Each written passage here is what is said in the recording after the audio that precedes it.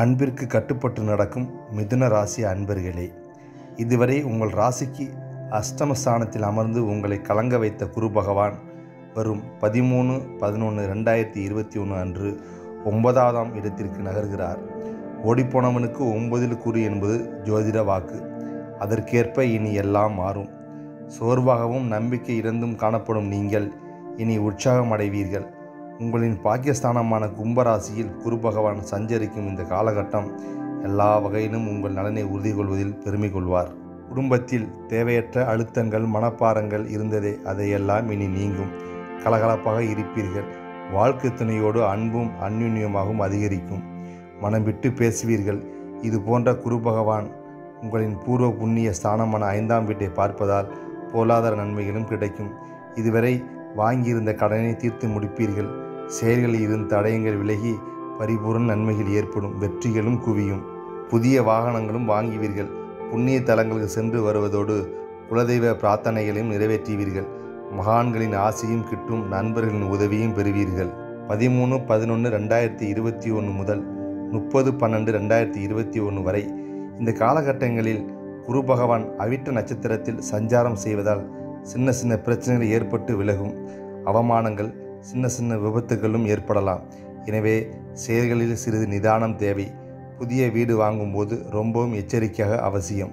சட்டப்படியே எதையும் செய்யுங்கள். சகோதர வகையில் தேவையற்ற சங்கடங்கள் ஏற்படலாம் என்பதால் நிதானம் தேவை.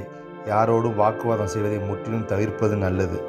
முப்பத்தி ஒன்று பன்னெண்டு ரெண்டாயிரத்தி இருபத்தி ஒன்று முதல் ரெண்டு மூணு ரெண்டாயிரத்தி இருபத்தி ரெண்டு வரை இந்த காலகட்டங்களில் குரு பகவான் சதயம் நட்சத்திரத்தில் குரு பகவான் சஞ்சாரம் செய்வதால் மனக்குழப்பங்கள் தேவையற்ற பதட்டங்கள் டென்ஷன் வந்து செல்லும்.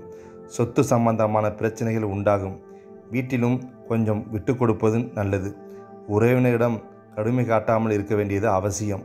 ரெண்டு மூணு ரெண்டாயிரத்தி இருபத்தி ரெண்டு முதல் பதிமூணு நாலு ரெண்டாயிரத்தி இருபத்தி ரெண்டு வரை இந்த காலகட்டத்தில் குரு பகவான் புரட்டாதி நட்சத்திரத்தில் சஞ்சாரம் செய்வதால் வாழ்க்கை துணையோடு விட்டு கொடுத்து செல்வது நல்லது. வீண் கவலைகள் மனதில் அதிகரிக்கும். தேவையற்ற விஷயங்களை வீட்டில் பேசிக்கொண்டிருக்காதீர்கள். பணிச்சுமைகள் அதிகரிக்கும். இடமாற்றம் ஏற்படலாம். எதற்கெடுத்தாலும் உறவுகளோடு சண்டையிட்டு நிற்காதீர்கள். குரு உங்கள் ராசிக்கு மூன்றாம் வீட்டை பார்ப்பதால் வியாபாரத்தில் இருந்த தேக்க நிலை மாறும். புதிய முதலீடுகளை செய்வீர்கள். போட்டிகளில் வெற்றி பெறுவீர்கள். பணியாளர்களால் உண்டான தொல்லைகள் மாறும். அனுபவம் மிக்கவர்களை பணியில் சேர்ப்பீர்கள். கடையை அழகுபடுத்தி வாடிக்கையாளர்களை ஈர்ப்பீர்கள். பொருள்கள் விற்கவும் அதனை வாங்குவதற்கும் மின்னணு பொருட்கள் பயணம் ஹார்ட்வேர்ஸ் தொழில்கள் செய்பவர்களுக்கு நல்ல லாபம் கிடைக்கும். திறமைக்கு ஏற்ற அங்கீகாரம் கிடைக்கும். பதவி உயர்வு தேடி வரும். சக ஊழியர்களிடையே இருந்த போட்டி பொறாமை மறையும். வெளிநாட்டு பணி தேடிக்கொண்டிருப்பவர்களுக்கு நல்ல பணி கிடைக்கும்.